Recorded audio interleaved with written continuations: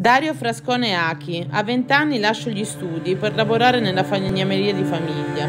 Sin da subito inizio a trovare interesse nella lavorazione del legno. Colgo un'ispirazione che fino a quel momento provavo solo nel disegno, nel realizzare vari arredamenti moderni e vintage, da cucce per cagnolini e gatti e restyling di mobili antichi e creazioni di vari arredamenti con mio stile. Nel tempo inizio a riuscire ad esprimere le mie sensazioni con l'arte estratta, realizzando quadri sul legno di recupero e da poco sto esplorando l'arte digitale.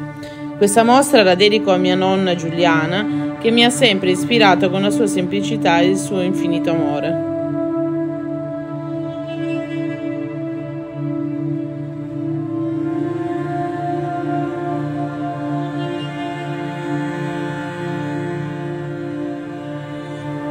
20, I left my studies to work in the family carpentry.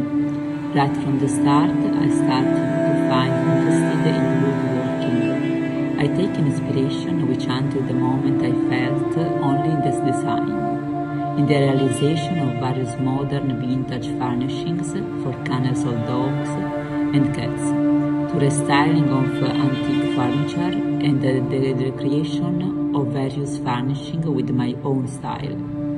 Over time, I begin to be able to express my feelings with abstract art by creating paintings on reclaimed wood.